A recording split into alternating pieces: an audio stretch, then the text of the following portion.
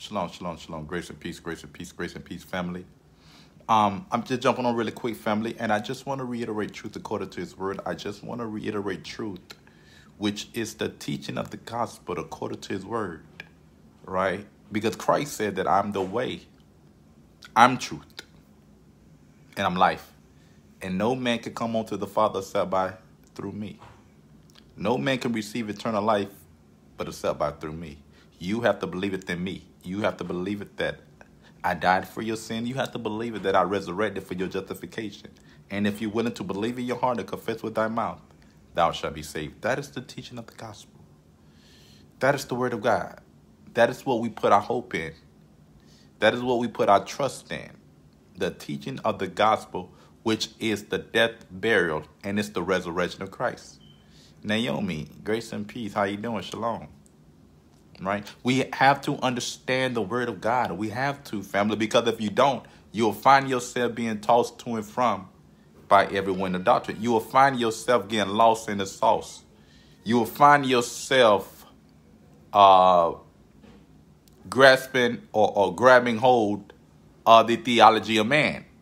And if the and if the word uh, and if what they're saying does not align up with the word, once again you'll find yourself going astray. So you have to understand the teaching of the gospel, which is you believing in the death, burial, and in the resurrection of Christ, right?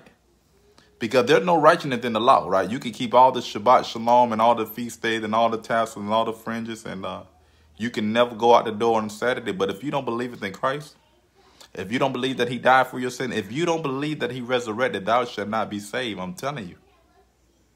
Mm, you won't. So I just want to encourage you to really understand the fundamental, really understand the principle of the gospel, which is you believing that he died for your sins, you believing that he rose again, and you understanding that by his stripes you've been healed. Absalom, grace and peace. Hallelujah, hallelujah, hallelujah. Right? And we have to begin to drink from the new wine. We have brothers and sisters want to mix the old wine with the new wine. You can't do that. We have to drink the new wine and the new wine only. You don't want to mix the wine? Why would you want to mix the wine? You will only bring harm towards your way. We have to drink from the new wine. We have brothers, we have sisters want to add the law with grace. You can't do that. Talking about your sins are forgiven through Christ, but yet we have to keep a feast day. You're missing the wine together. You should not do that we need to keep the law of Moses and, and, and, and believe in the grace of Christ. You can't do that. You cannot mix the wine together. You cannot mix the two covenants together because Christ said the law came through Moses. Understand that. But grace and truth came through Christ. Grace and peace. Hallelujah. We can't mix the two together, family. We have to keep it separate. We're not under the old, but we're under the new. We're not under the law, we're under grace. We're not. You can't mix the two together. You want to be under the under, under the order of, of Aaron and under the order of, of Melchizedek, who is Christ. You want to be under the law and under grace. You want to be in the old covenant and in the new covenant. You can't do that. Christ said, He that put his hand to the plow and look back is not fit for the kingdom of God. Point blank, period. Around here drinking Hennessy and Remy. You gonna hurt yourself. Around here drinking vodka and gin. You gonna kill your liver. Around here trying to miss the, the law with grace. You gonna destroy yourself. This is what Christ said. We under new order. Melchizedek. A tribe which Moses never spoken of from the tribe of Judah. You have to get that revelation, family. We're not under the first covenant. We're not in the time of Moses. We're not under the law. We're under grace. But for by grace art thou saved through faith. It's not of works so that no one will be able to boast. We have to drink the new wine. It's better. It's built on better promises. It's better. It's more healthier. Grace and peace. Grace and peace, Brother Peter. Young Ram, you already know. Grace and peace. We have to drink from the new wine bottles, family. We cannot continue to mix the two together, the law. It's not of faith. Brothers want to be under the law and under grace. They want to be under Moses and under Jesus Christ. They want to be in the old covenant and the new covenant. You're missing the wine together, and Christ said you will destroy yourself. New wine belonging to new wine bottles so that it's able to be preserved, family. Please understand what I'm saying. That stuff we did in the old is in the days of old. We don't have to atone. We don't have to use animal to atone for the sin of, of, of mankind. You don't have to run to Jerusalem. We're not under the order of Aaron. You don't need to look for a Levitical priest. You don't have to take your tithe or or or, or your, your your your your first fruit, your your offering to to the sons of Aaron. We're not you don't have to walk around the wall of Jericho seven times. You don't have to stone one another to death. You don't. All you have to do is believe in Christ, and He will redeem you. He had reconciled all of mankind back unto Himself through faith. That's the new wine that thou should be drinking from today. So I will be reading from the book of Mark. The book of Mark, chapter 2 verses 21 and 22. The book of Mark, chapter 2, verses 21 and 22. I'm just going to focus on these two verses. And I pray that this bring forth edification. I pray that it reach just one person. That's what wrong with these teachers now. They want to reach the whole world just because they go live. It's all about reaching that one. And allow that one to be equipped with the word of God. And he go out there and reach that one. We have to reach that one. Christ said he is willing to leave 99 sheep that go and search for that one. But you would rather argue back and forth about a name. I don't have time for that. I'm trying to reach that one individual to equip him and to make him understand or allow him to understand the truth of the gospel so that he could go out there and reach that one. Reach one, teach one, or teach one, reach one. That's what it's all about. The book of Mark, chapter 2, verse 21 and 22. The book of Mark, chapter 2, verses 21 and 22. Please reshare the video, family. Please reshare the video. Please reshare the video. We have brothers and sisters who don't know this yet, so they need to understand this. We have brothers and sisters who still stuck under that Pharisee doctrine. They need to come from under that theology, right? So they, they, they need to understand the truth. They still stuck in Judaism the Hebrew movement. They need to come from under that theology and learn the truth of the gospel, which is the teaching of the death, burial, and the resurrection of Christ. You have to believe that he died for your sin, and you have to believe that he resurrected for your justification if thou want to be saved. The book of Mark. And that is drinking the new wine right there. And it tastes so much better than the old. The book of Mark, chapter 2, verses 21 to 22. The book of Mark, chapter 2, verses 21 to 22. And it reads, It say, No man also seweth a piece of new cloth on an old garment,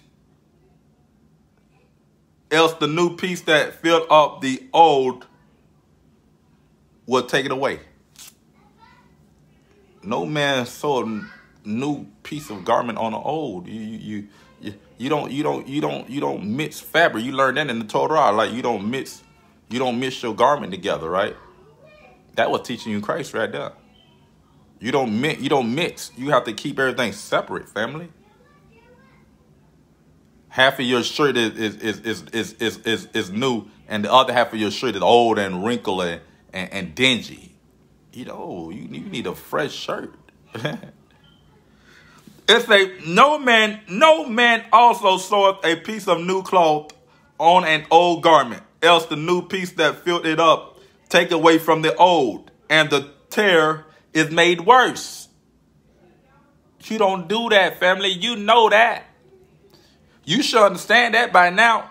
When the last time you went and got a shirt out of the mall, half of your shirt was brand new and the other half was was was was dingy and wrinkled and, and, and stinking and dirty and filthy.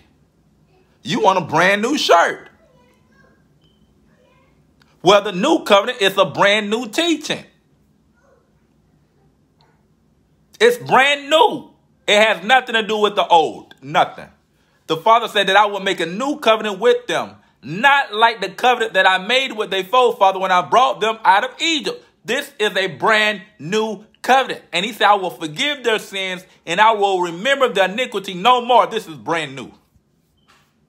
It ain't mixed. You want to be under the law and under grace. You want to be saved by grace through faith and keep the law. No, you can't do that. You want to keep some Torah and believing in Christ. You can't do that. Grace and peace says grace and peace. You want to be under the old covenant and the new covenant. You can't do that. You want to go to Jerusalem and believe in Christ. You can't do that. You're missing the two wine together. You will destroy yourself and everyone you preach that garbage to. New wine belonging to new wine bottles so that it's able to be preserved. The gospel have to be preserved. Why do you wish to pervert the gospel of Christ, you knucklehead? Your mouth had to be stopped. Your mouth had to be shut up because you're not preaching truth according to his word. You're missing the two wine and you will destroy yourself. Imagine drinking Hennessy and Remy together. You will destroy yourself. Keep the Remy bottle, keep the Remy liquor in the Remy bottle, keep the Hennessy liquor in the Hennessy bottle. Don't try to mix the two because they both cognac.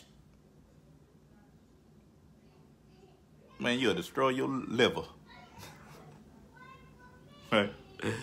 It said, No man also sew a piece of new cloth on an old garment, else the new piece that filled it up take away from the old, and the tore it made worse. And no man put the new wine into old wine bottle. You just don't do it, family. New wine belonging to new wine bottles, period. The new covenant is not, it, it, it should not be mixed with the old covenant, period.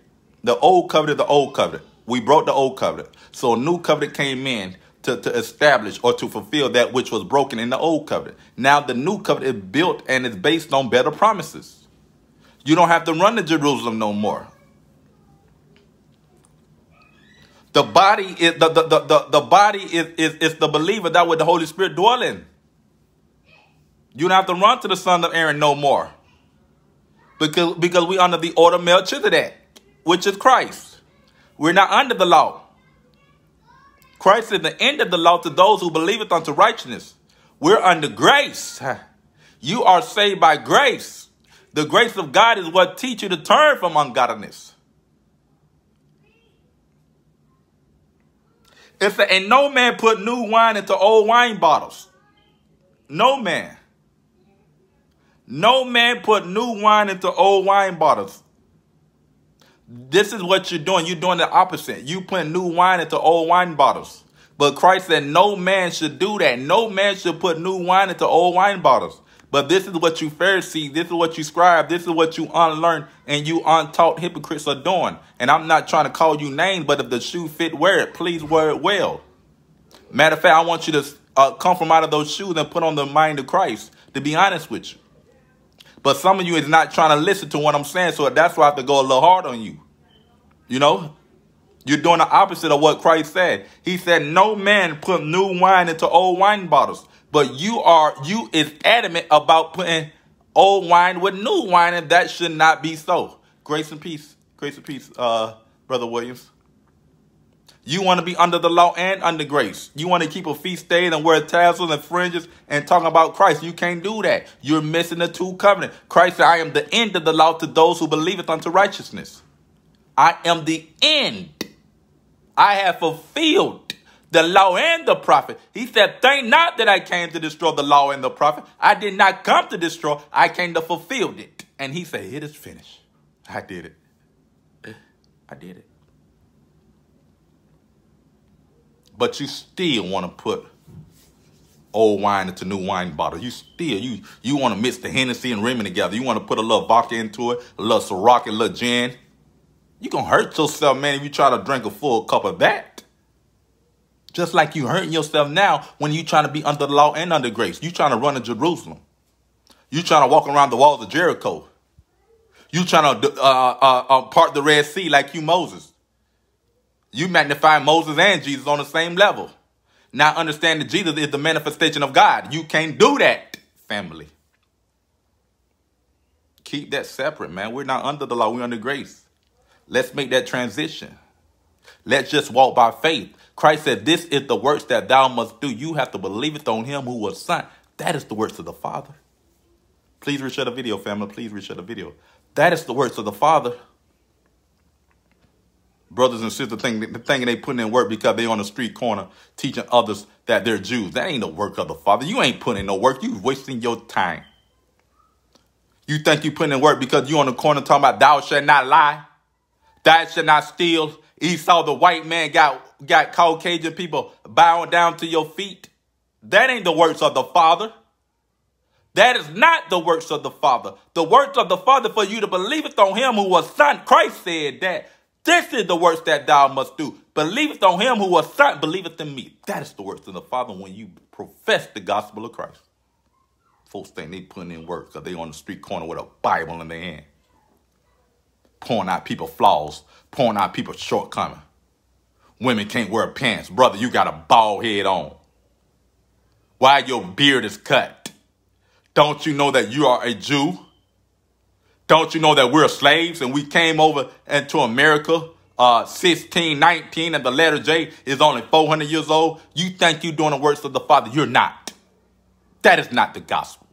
That is strange teachings. What you're saying cannot bring deliverance to no one.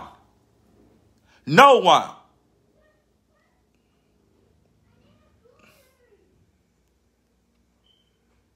No one, family. Absolutely. Christ said, This is the this is my commandment. This is my commandment. He said, if you love me, keep my commandment, which is different from Moses, or which had fulfilled Moses. He said, love your neighbor to love yourself.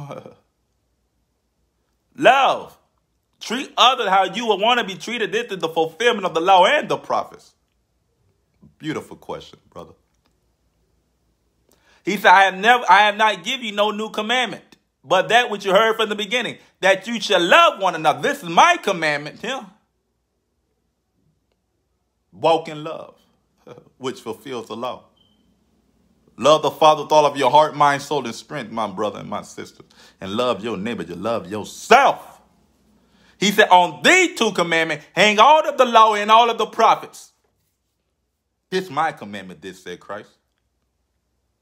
But we have brothers who will say, you know what? What about when the young fella asked Christ, um, what shall I do to enter life, right? Don't lie, don't steal, don't.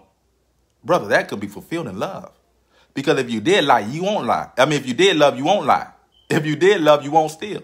If you did love, you won't commit adultery. If you did love, you won't disrespect your parents. So what he's telling you is that treat others how you would want to be treated. And that is the whole of the law and the prophet. That is Christ's commandment, which is love, which is the image of the Father, which is the fulfillment of the law. Love. It's, and no man put new wine into old wine bottles, else the new wine bust the bottles and the wine is spilled and the bottles is destroyed. But the new wine must be put into new wine bottles, family. Please reshare the video, family. Please reshare the video. The new wine belongs to new wine bottle. You cannot mix the two coming together. He that put his hand to the plow and look back is not fit for the kingdom of God. You can't be a part of the new and looking back in the old. You can't put your eyes on Christ and look back at Moses. You can't be under grace and under the law. You can't do it. You can't be about no Torah that profit us nothing and be under grace. You can't do it. You can't have tassels and fringes on for the sake of justification, but believe in Christ for the sake of justification. You can't do it. He that put his hope in the law has now fallen from grace, and you have alienated yourself to Christ. Christ is the master of the Sabbath. Rest in him. Christ is your tassel and your fringe that will remind you of all things. Now believeth in him and allow him to lead and guide you into all truth. New wine belonging to new wine bottle. Let's begin to drink the new wine, family. I don't want the old wine. I don't want it. Because he that despises the old wine died on account of two or three witnesses. He that despised the law of Moses died on account of two or three witnesses. I don't want the old wine. I don't want to run to Jerusalem. I don't want to kill animals to atone for my shortcomings. I don't want to say sin because it said it never could take away the sin of the world. I want to drink the new wine. I want you to drink the new wine. I want to be served the new wine. I want to serve you the new wine when you come to my house. And that is the gospel. Believe in Christ.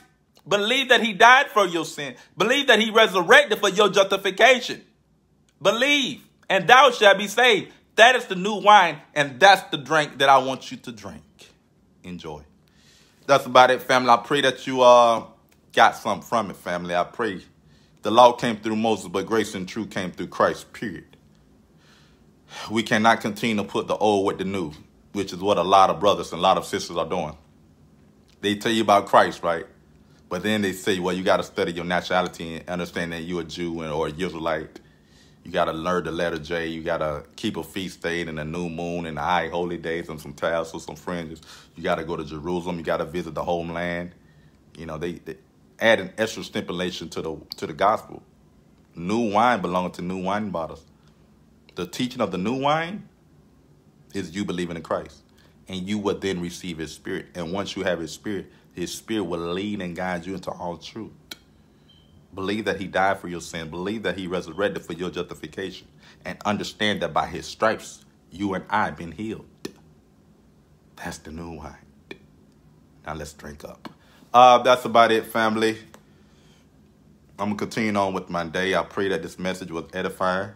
I pray that you receive something from it. And if you already know this, I just pray that it keep you rooted and steadfast in the teaching of the gospel. And that's what it's all about.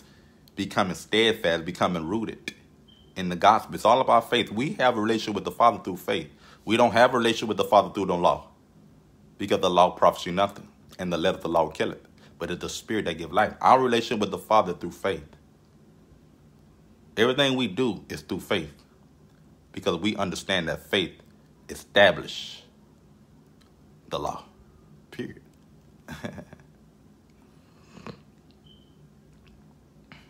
Hallelujah. Please reshare the video. I'm not going to keep you too much longer, family. Y'all, please reshare the video. And uh, continue to walk by faith and not by sight. Hallelujah, hallelujah, hallelujah. Continue to walk by faith and not by sight. Continue. It's all about the new wine. It's all about drinking from the new wine. The new wine tastes much, much better. Why? because it will build on better promises.